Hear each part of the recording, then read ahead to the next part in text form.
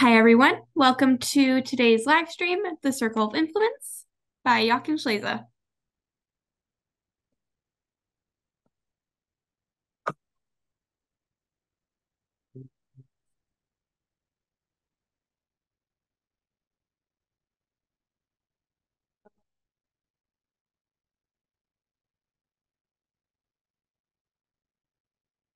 Hello, everybody. Welcome to today's lecture, The Circle of Influence. It's a very interesting and important webinar because, um, as we know, we all want to know the best for our horses, but we often have questions. Why does my new saddle or my beautiful saddle don't fit anymore? Why is my horses changing so much? You know, what really struck me is that horses back well, it is the three-dimensional shapes, can change from one moment to the next. Why is that?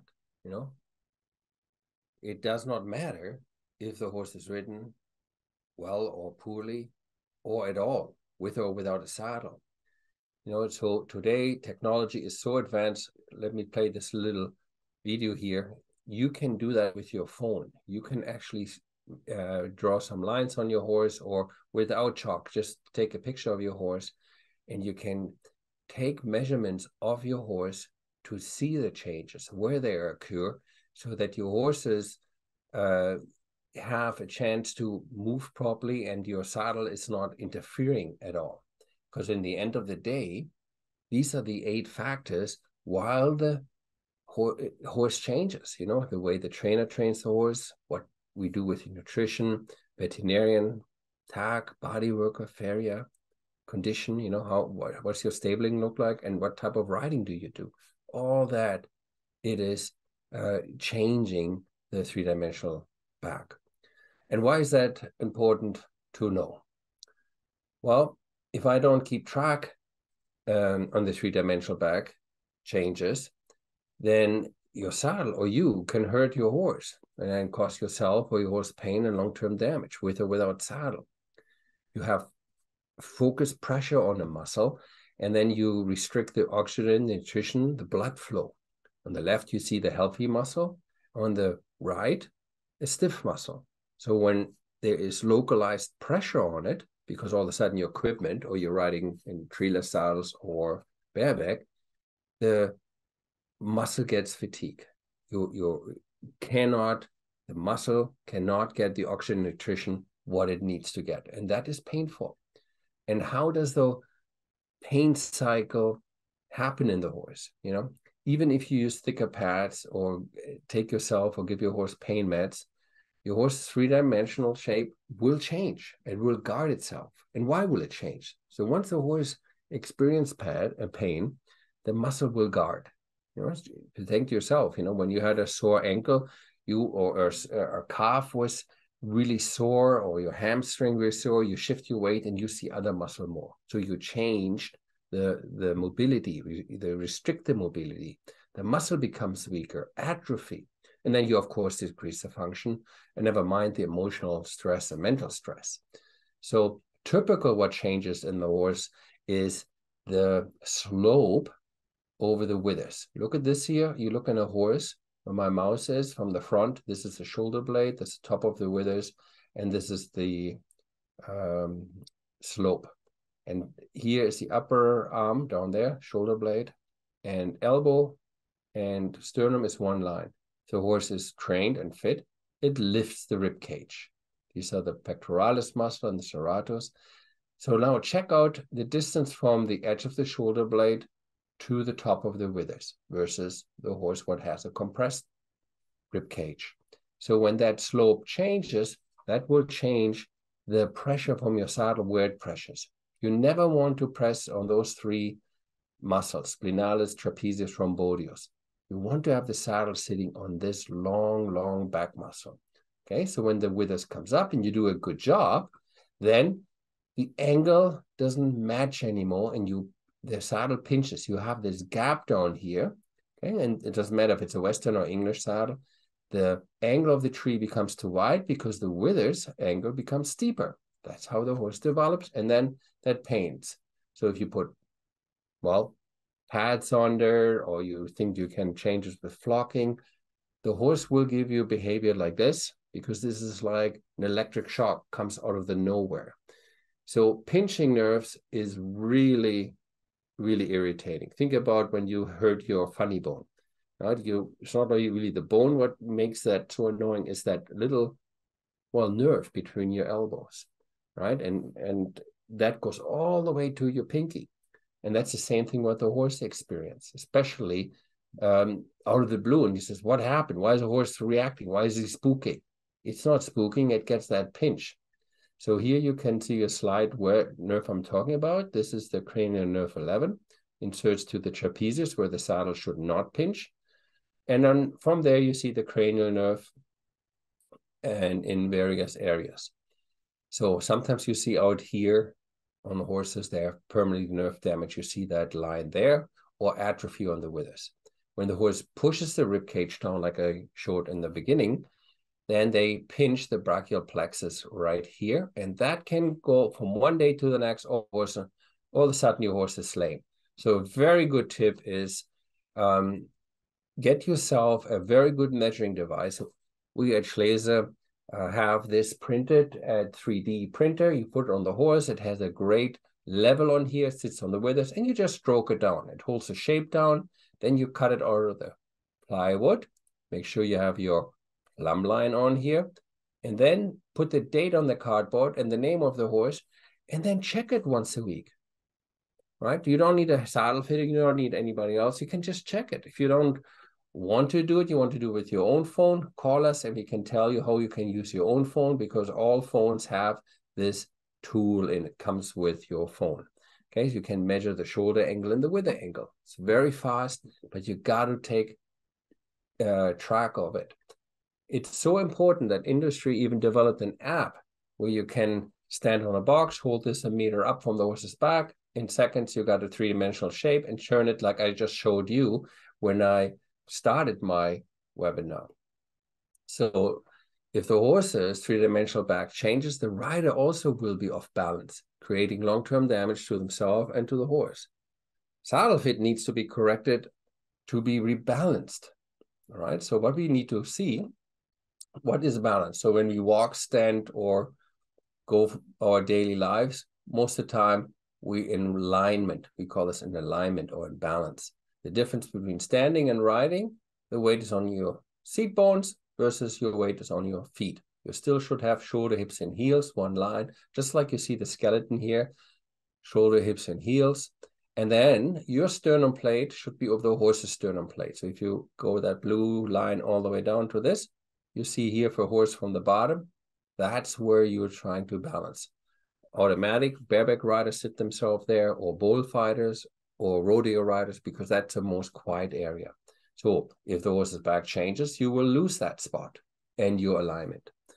So here is where we want to have the back um, contact with the saddle.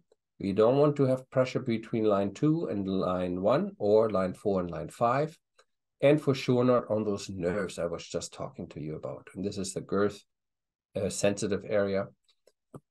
For me most of the time is um, we need to really focus of having the contact on the longest back muscle and stay away from the reflex points. Okay, if we not, the horse will guard itself and then the saddle bridges. Here you see a saddle with contacts in the front and in the back. And then in the middle of the saddle is hollow. And that puts massive problems on the spinal, on the lumbar spine. And then they get all these deformity or dry spots be trying to avoid that. And if you have horses who keep going hollow, then run into the risk of getting super tight on the multifidus muscle, that's a, one of the back muscles, and then they getting into kissing spine, then you need surgery. Okay, so then one factor is how does your horse trainer trains your horse? Does he train your horse more for the hyperflexion and Rollkur work or for the old classical way where the horse is back up, haunches underneath, and the weight of the forehand. Trainers have this ability. They can train it this way or that way, whatever they believe in it.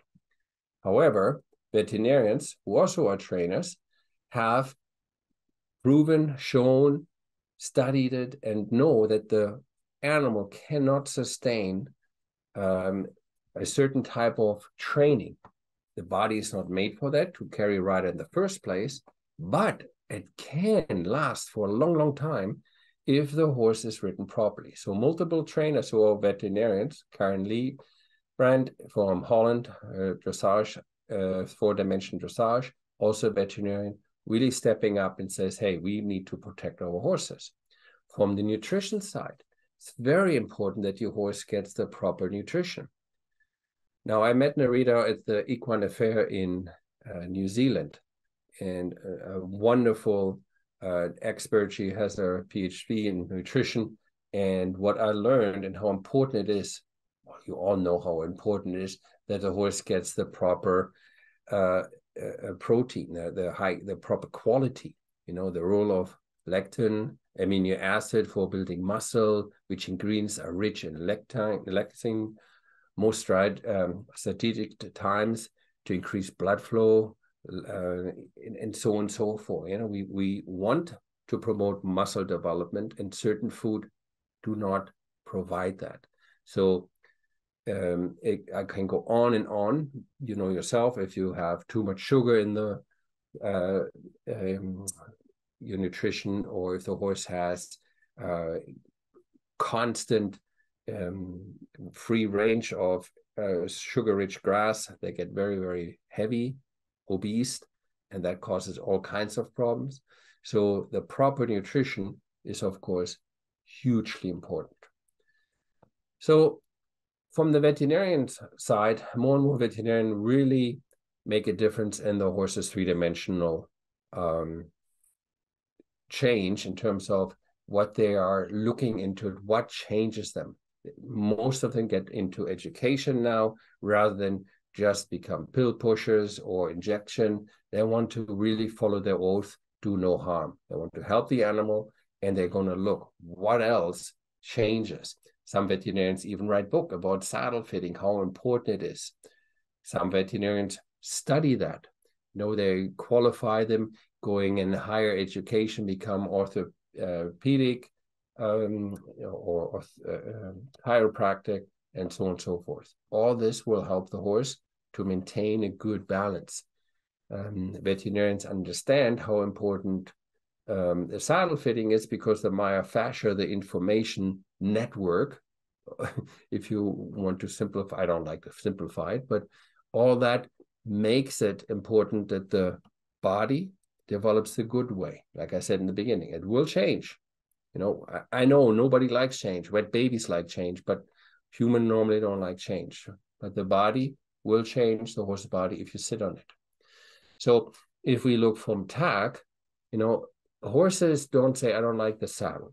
You know, horses don't like to say, uh, I like this brand or like that brand. They're just body language. I mean, there's multiple veterinarians who even now have either followed the Grimace scale or the ethogram from Dr. Sue Dyson. But we know that a lot of stuff now has been shown, tested from tack, what makes the back look really, really bad of the horse. And they all come back to the rider's fit. You know, what they teach at the Spanish riding school, no pliable seat means the horse is damaged or going to be damaged. Neurosurgeon Dr. James Warson wrote the book about the rider's pain-free back. You know, so if you are not supple, if your back is not 100%, you know, the horse will always suffer changes. So besides the way the horse is trained or is cared from the veterinarian side, your tack plays a massive role. You know, you have nine different seat dimension. I'd shown you only four here. Okay. So it's not about just the saddle. It's about how every single one from those eight factors can change it. So your tack has to fit you first. So if you're a male, get a male saddle. If you're female, get a female saddle. Those two figures I just showed you, female front impression, the cast, pubic symphysis, these are bones, okay? These are not soft tissue. And then you got here the um, seat bones from the female, here the bone from the male, and the guy has more a wider twist, a girl has more a narrow twist. So the twist is very often misunderstood. Mm, I have to move that over a little bit. That is in this area. so that area is between the upper inner thigh. So that the green highlighted area you see here, that's what you feel as a rider, which is not in your crotch up there. Okay. It's down on the side here. See that? That's what you feel. And when your saddle is too wide in the twist, that will hurt your leg. So if the twist doesn't fit you, or the saddle is hitting you in the crotch, we as riders will compensate fast. What happens next? Boom. Now all the pressure's in the back. So you could have a super veterinarian, a super trainer, but you got equipment, saddle, what makes the rider sit in a way the horse does not able to carry you right? So then we got body workers you know let's just to have a look how many different body workers there are? Physiotherapists chiropractor acupuncture osteopaths massage therapists massive methods cranial sacral manipulation reiki masters and it goes on. These are just a few okay? So they can all make a positive difference to the horse but if the rider sits shitty in the saddle because it doesn't fit the rider, or the saddle fits shitty the horse, all their work is for nothing. And the training, you're fighting against an equipment. So I found this video on on uh, YouTube, and I thought that's quite interesting. Every time human manipulate with nature, how much damage we do to the horse. Now, if you look at this um, picture here, um, this horse is stepped on a stone on the right, right? So you see irons, I think you took the hoof off.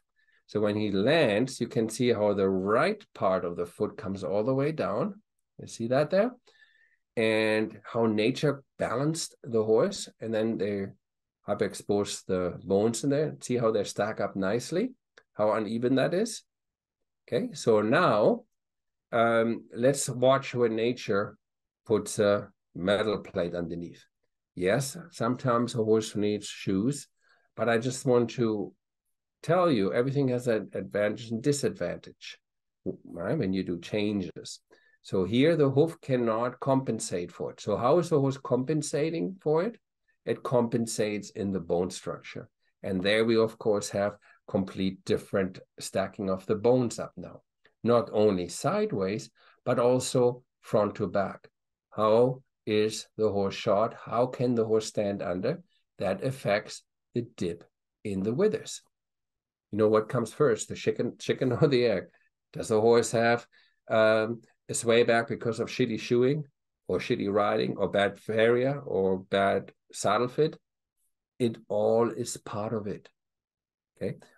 Yeah, I always like to say the circle of influence is like the uh, big uh, wheel with um, um, nah, what's the word I'm looking for?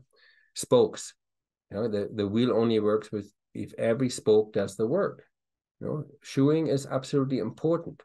And if I my horse needs shoes, I need to understand what type of um, riding I really want. Speak to farrier, speak to your veterinarians who are very aware about it. And yes, barefoot is the way to go, but sometimes you live in an area where the nutrition the ground is not helping the horse to grow a healthy hoof to go barefoot. So speak to experts, okay? But understand that the farrier has a huge impact, impact of the condition of the horse. Then, of course, age and condition and where you keep him.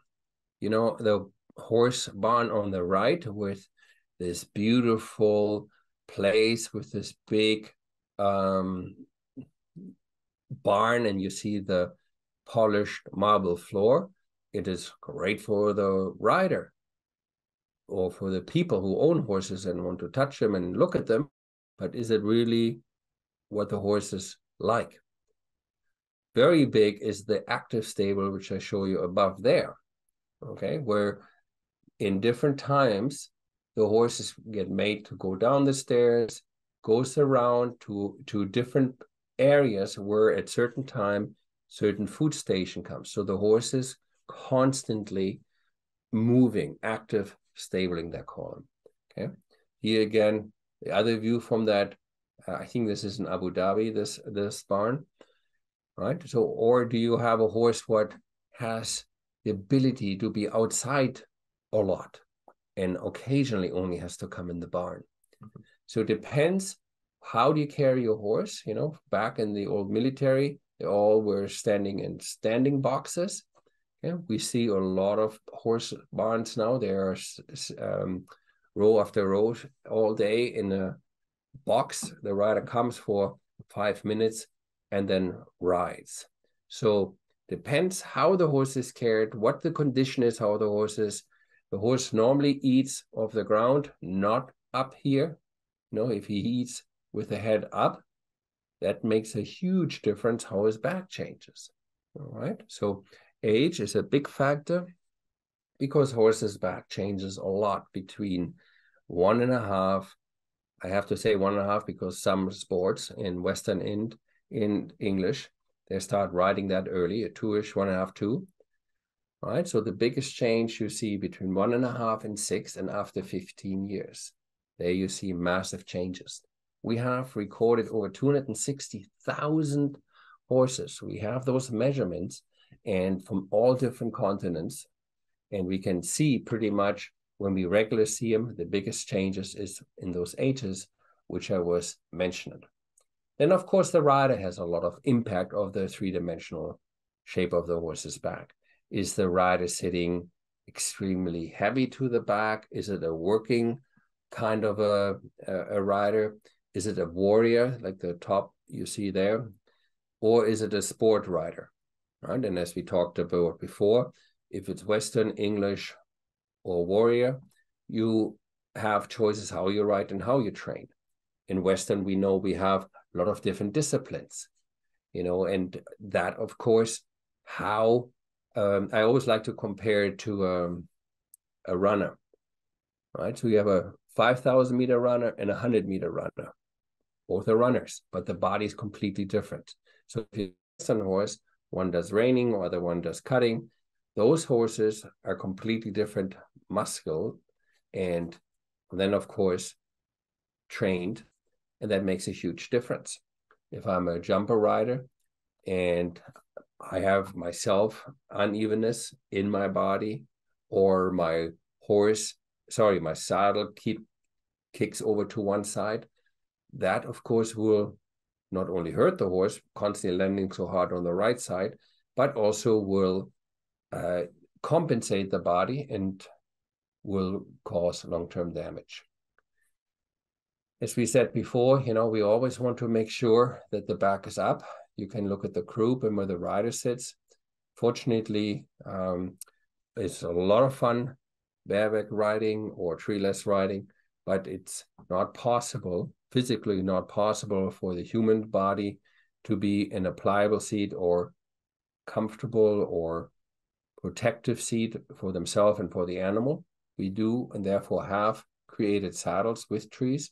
So that chair seat position or the hollow back where the horse gets this pinpoint pressure from the seat bones, okay, or from the um, uh, wrong position of where their rider puts himself.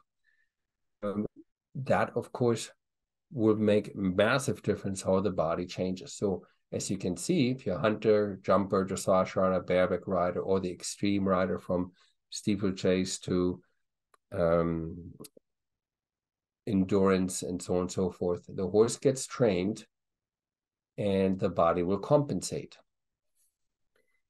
Now, unfortunately, this is something um, what is in the dressage world very popular and um, still uh, rewarded with high, but it's not, as I mentioned in the beginning, uh, sustainable for the horse, and the horse will um, needs to retire faster than it needs to. So all of these factors from trainer, nutrition, veterinarian tag, body work, apharia, age, condition, and the rider themselves, you know, they can make a massive change from one moment to the other.